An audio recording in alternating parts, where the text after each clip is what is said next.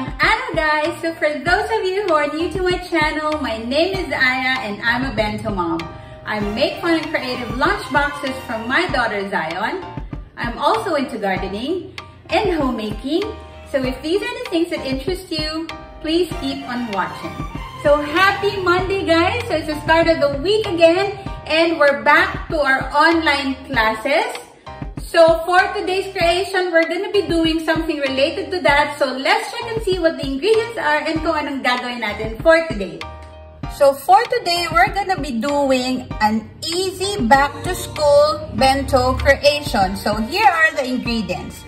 So we have here yellow colored rice. So for this one, I used one drop of bright yellow McCormick food coloring. I diluted it into three tablespoons of water to achieve this color and then I just mix and mash the rice to fully incorporate the color. Okay, and then we also have white rice. And then for the details, I have nori sheets. So I'm using this Bibigo brand ng nori sheet. So sa nori sheets, I just cut a few lines, straight lines like this. And then I cut letters, uh, A, B, C na letters. So I just use uh, scissors. This one, a fine tip na scissor to cut the nori sheets. And then I also cut one small triangle para sa ating pencil later. So these lines are gonna be for the paper. So you'll see later how we'll use it. And then we also have hot dog slices here.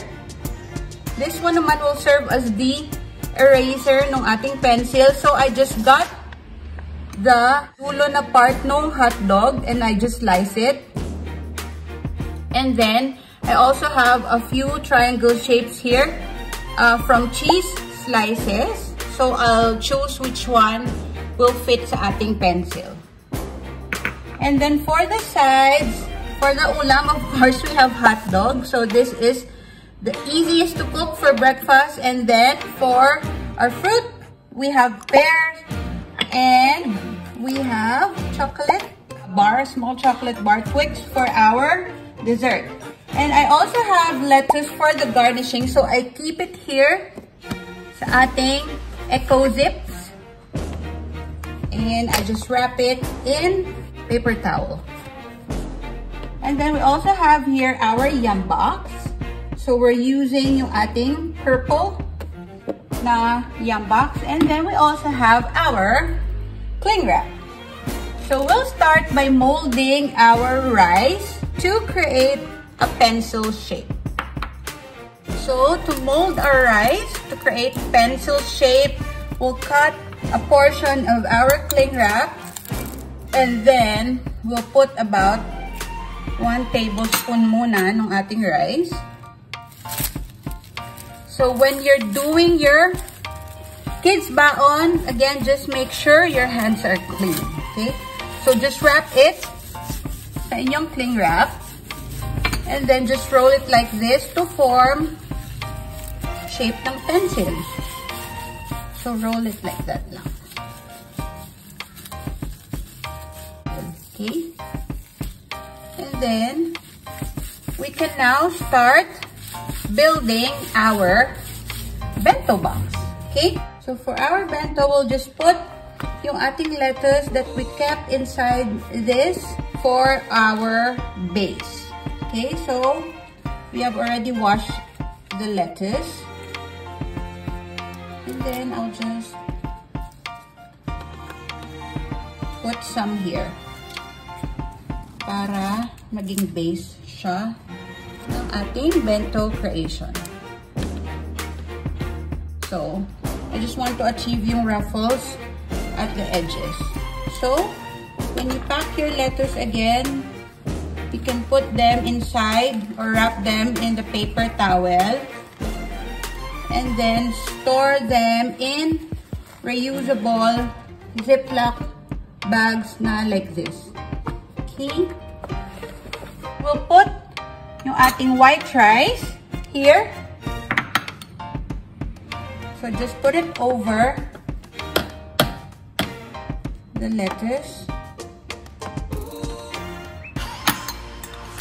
So just press the white rice over this compartment until maging compact siya.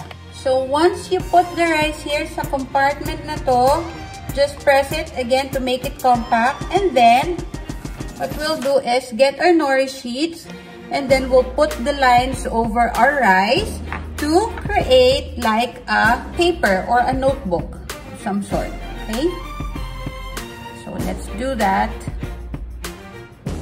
So, just put it to create like a notebook or paper lines. Okay? So, this is an easy bento creation. So, you can just do it as is na ganito. Or you can put other um, details if you like. But this one is okay. Just a symbol no paper or notebook would be fine to show that is a back-to-school bento creation. So, we'll just finish putting our lines here. So, once you're done with the lines dun sa inyong notebook, ako, I just cut a few letters na A, B, C. So, I can just put it here sa isang space ng ating paper.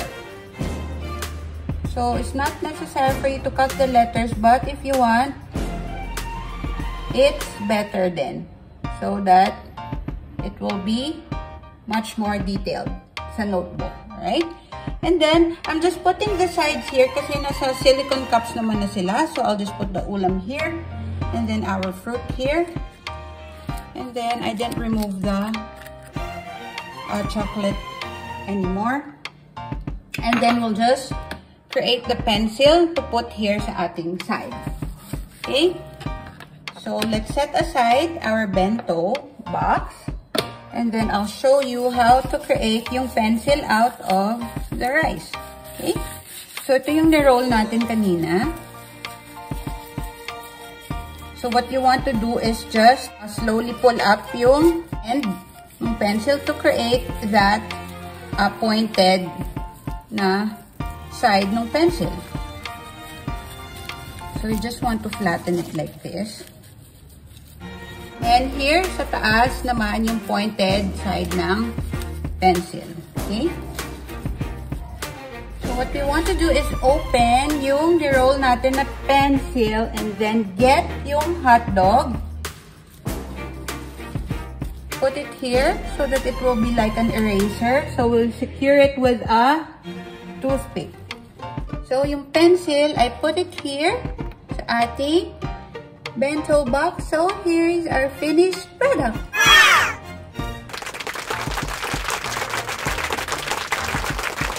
So, that's it for today's bento creation. So, nilipat ko lang yung pencil here so that the tip is pointing there sa letters. So, again, the easiest way that you can do a back-to-school bento is just do the notebook or the paper lines. Ito, by cutting strips out of nori sheets and then putting it on top of the white rice. If you don't want to cut letters, you can use bento picks na letters and then just put ABC there. So, bala kayo mag-design or you can also use cheese slices or fruits that you can shape into letters. It's actually up to you and your imagination, okay? And you can also do the pencil kasi madali lang naman siya. So, you just gonna roll the rice, yung yellow colored rice. And then, just put a triangle tip. If you don't want to cut cheese, it's okay. Just make sure na may tip siya na dark by using the Nor sheet. And then, of course, yung hot dog as the eraser. So, it's very, very easy. Again, this is a good bonding activity that you can do with your kids. So, I hope you like this. If you enjoyed, please do share para mas marami pang mag-try mag-bentoing. And also, please don't forget to subscribe to my channel and hit the notification bell para palagi kayong updated if I have a new video upload. Thank you for watching guys. See you in my next vlog. Bye!